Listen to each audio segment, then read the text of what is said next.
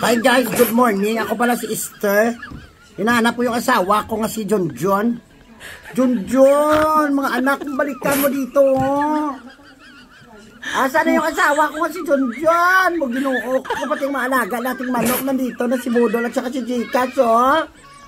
Sa lahat po dyan ng mga buhay po na nanawagan po ako dyan yung asawa ko po nagtrabaho ng construction worker. Hindi na po siya nakabalik guys mga anak namin. Pinapainom ko lang ng kopimit dito.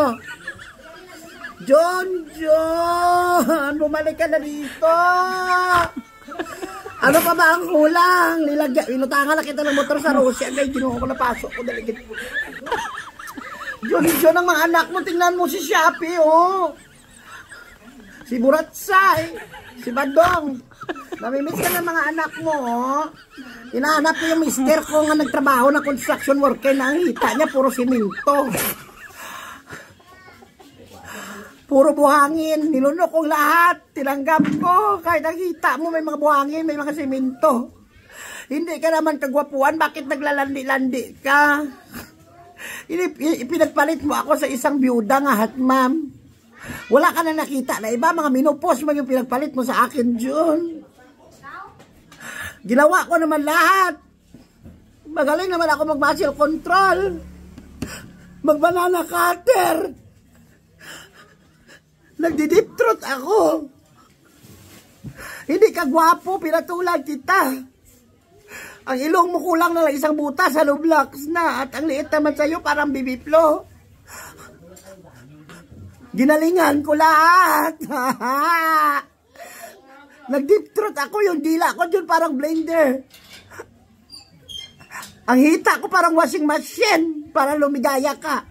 Hindi mo ba na naalala ang mga posisyon, mga ali, Jonor? Ah, ah, ah, ah. Hindi mo ba naalala ang ginawa natin habang yunudog style mako paharap? Hindi na natin kailangan ng shooter, ginalingan ko, pinasok mo na lahat. Pasok na pasok, lalo na yung katawan, yung dalawang itlog na kumakato pa sabi, tao po, tao po.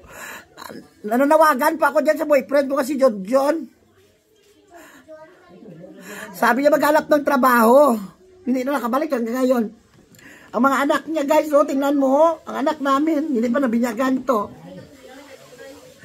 Si Esther, si Shopee, at saka si Bundoy. John! Ayaw ko na talaga sa'yo. Kaya po ako nakapag-vlog dito at saka sabi ko talaga hinahanap ko yung mister ko. Naglalasing ako dahil ito yung ini iniinom ko. Na, hindi niya ako masisisi ko bakit ako naglalasing. May problema ako. Ginalingan ko, ginawa ko lahat, ng muscle control. Ang dila ko parang blender. Kasi ang mga ahas ngayon, wala na sa bundok, nandyan sa messenger, nakahanap siya ng ahas. Yung ahas na hindi lang kubra, yung nilulunok, pati ATM, pati sweldo ng mister ko nilunok ni Malka.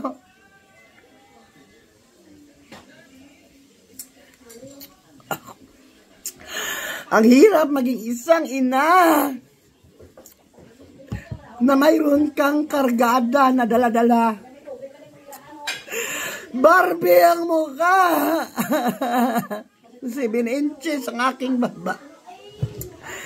Nananawagan po ako dyan sa diin, IDPWF, kay Ed Kalawag, kay Pastor Kibuloy.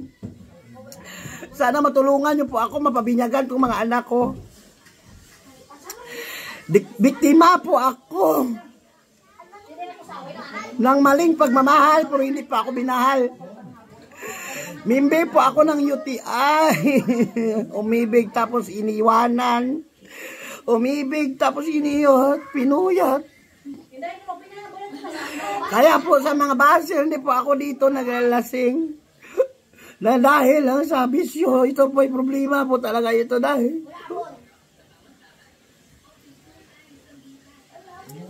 Ano yun, di puta. At hindi na kwa, di puta. Pangaboy ng mga bata niyo, di puta ka ba? Agay!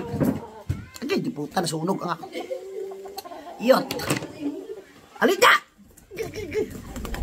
Nag-iti pa sa likod ko yun, di puta. Eh.